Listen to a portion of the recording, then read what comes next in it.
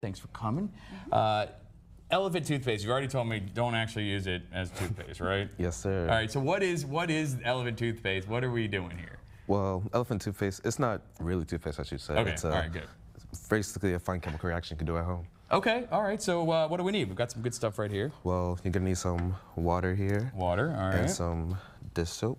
And might gotta go to the store for a little for some cool color, food coloring All right. and some fast rising yeast here. Fast rising yeast. All right. That's important. All Oh, right. And hydrogen peroxide. Hydrogen peroxide as well. Mm-hmm. All right. So take me through it. How do we get started?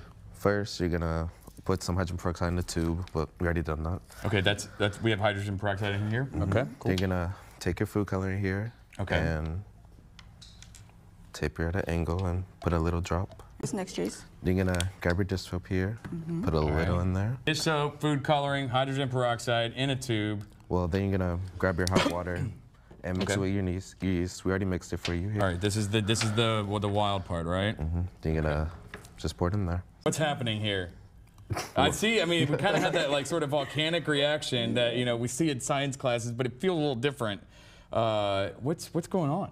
Well, what's cool about it, your yeast breaks down your hydrogen peroxide into water and oxygen. Uh-huh. Then your oxygen is gonna go into your soap here, and it's gonna go into the bubbles and it's gonna shoot up and make a foamy explosion.